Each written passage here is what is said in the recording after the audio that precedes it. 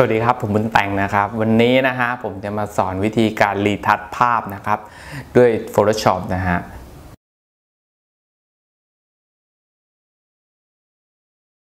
ภาพที่เรามา retouch กันเนี่ย มันจะเป็นภาพนางแบบนะครับ จะเป็น retouch แบบว่า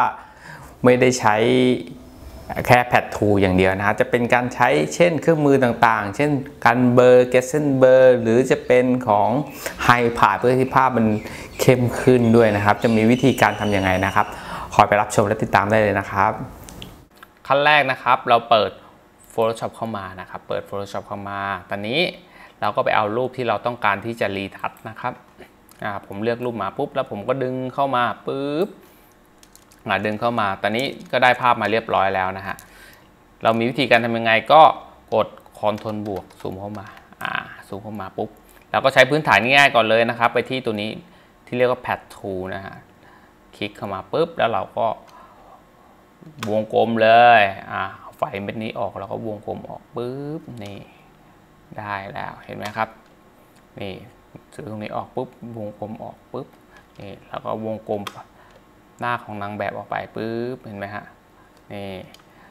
เสร็จแล้วนะครับอ่านี่ที่ฟันอีกนิดนึงอ่าเราไม่ชอบตรงไหนเราก็วงกลมไป มันจะเป็นการลักษณะของเรียกว่าเอาพื้นที่ใกล้เคียงข้างๆเนี่ยเข้ามาแทนเอานะครับอ่ามันจะเป็นลักษณะอย่างนั้นเป็นการเอาพื้นที่ใกล้ข้างเคียงใกล้เคียงกันมาแทนเอานะฮะวงกลมไป อ่าเสร็จแล้วนะครับ กดคอนโทรลลบนะครับ ก็คือการซูมออกคอนโทรลบวกคือซูมเข้านะฮะ อันนี้เป็นคีย์ลัดนะครับ เสร็จแล้วนะฮะ ปุ๊บเราก็ทำการ Copy Layer นะครับ โดยการเลือก Layer ที่ที่คำว่า Background นะครับ เลื่อนลงมานะฮะ อยู่ตรงข้างๆถังขยะนะครับ อ่า มันก็เกิด layer ที่ 2 อะ layer ที่ 2 ผมคลิก 1 คลิก 2 ครั้ง 1 2 แล้วผมก็เปลี่ยนชื่อว่าเป็นเบลอ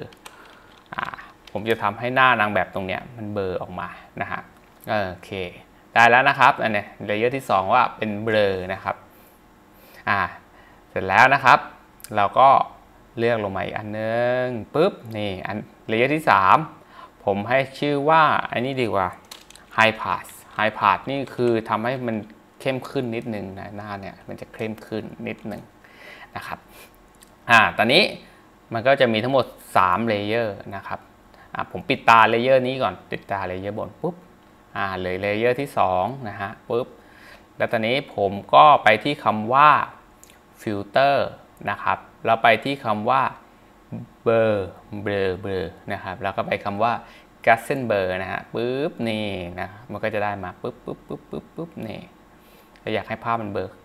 อยากให้ผิวหน้ามันเนียนขนาดไหนเราก็ให้เบอร์เยอะไปหรือว่า ไม่อยากให้เนียนเกินความจริงเราก็เบอร์น้อยๆหน่อยนะครับขนาดนี้แล้วกัน เสร็จแล้วกดโอเคนะฮะถ้าสมมุติเราเปิดตาตรงคำว่าหายปุ๊บมันก็จะเป็นภาพปกติ อันนี้เราก็ไปเลือกเลเยอร์ที่เขียนคำว่า high นะฮะเลือกไปปุ๊บ เสร็จแล้วนะครับ เราไปที่คำว่า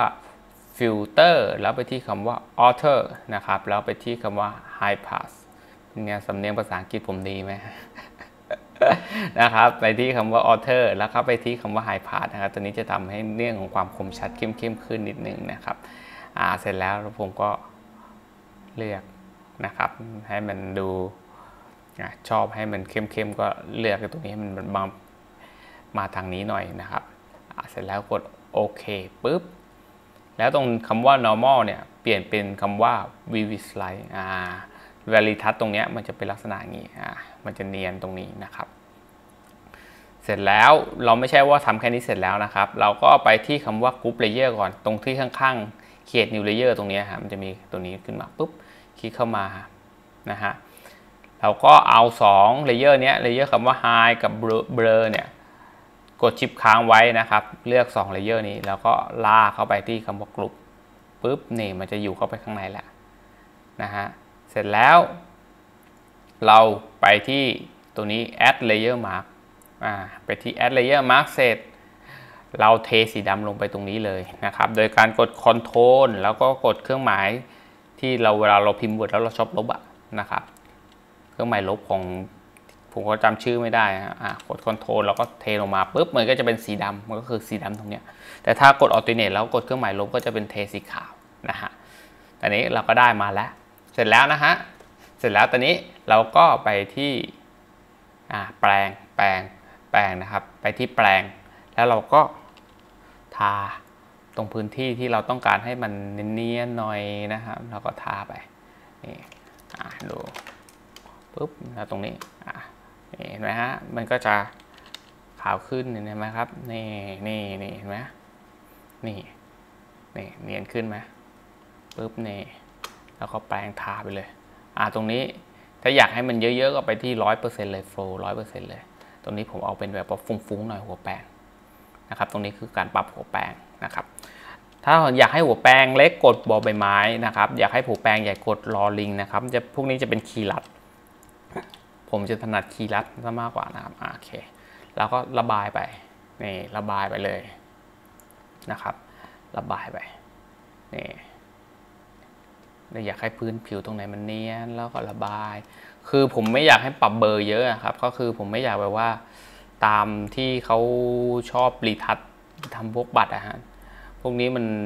เนียนจนเหมือนว่ามันไม่ใช่พื้นผิวจริงอะฮะแล้วก็ทำเท่าที่แบบว่าเออไม่ต้องให้แบบว่าดั้งเดิงหายไปด้วย เอาแค่พอประมาณก็พอนะครับนี่ปุ๊บนี่นี่ภาพเนียนเลยไหมฮะดู ซูมเข้าไปนิดนึงอะดูนะครับ before after เห็นไหมครับ before after อ่าเสร็จล้ว before after นี่เสร็จแล้วเป็นไงไม่ยากเลยใช่ไหมครับนี่สมมติ อยากใส่สีปากไหมอะสมมติเราจะแต่งหน้าอีกอาใส่สีปากเข้ามานิดนิดนึง ใส่สีปากเข้ามาอีกนิดนึงเราก็ ไปที่คำว่านี่ข้างๆนี้ปุ๊บ แล้วเราก็เทสีนี่เอาสักสีเลยสีแดง เอาเอาไม่ต้องแดงมากพอปุ๊บ แล้วเราก็ผู้กันเนี่ยทาไปเลย ตรงนี้ก็เปลี่ยนเป็น soft light นะครับ ตรงนี้เปลี่ยนเป็น soft light ตรงนี้ดูอีกทีนะ แล้วเราก็ซูมเข้าไปใกล้ๆ ปึ๊บปึ๊บปึ๊บปึ๊บปึ๊บปึ๊บนี่ กดบอลใบไม้แล้วลงนิดนึงนี่เห็นไหมฮะถ้าเปลี่ยนเป็น soft light มันก็จะเป็นเหมือน realistic แล้วครับเราอยากแต่งหน้าไงเราก็ธรรมดานะแล้วก็ create new layer เข้ามาอีกอันหนึ่งนี่นี่ทาลิสติกไปเลยนี่เห็นไหมฮะปักบนมั่งปัดบนมั่ง ปึ๊บปึ๊บปึ๊บปึ๊บปึ๊บปึ๊บปึ๊บ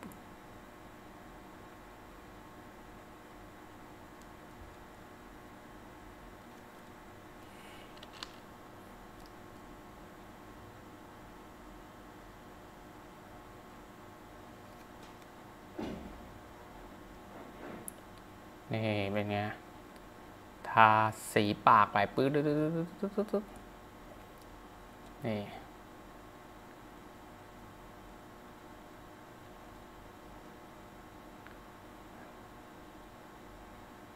นี่ได้มาแล้วนะครับนี่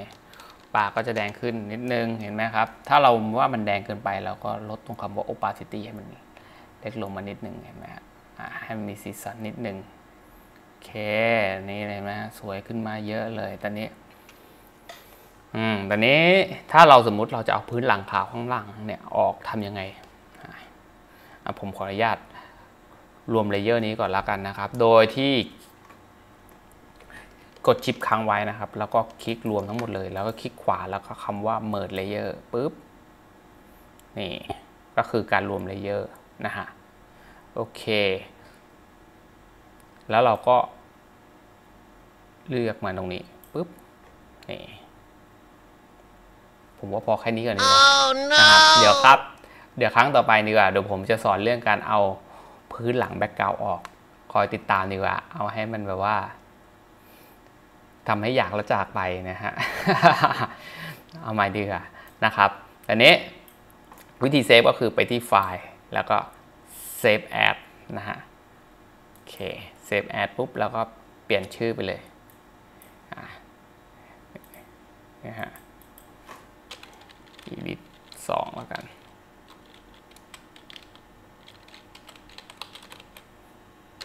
เซฟไปปุ๊บ กดเซฟปุ๊บนี่อ่า เขาจะได้ไฟล์มาเรียบร้อยแล้ว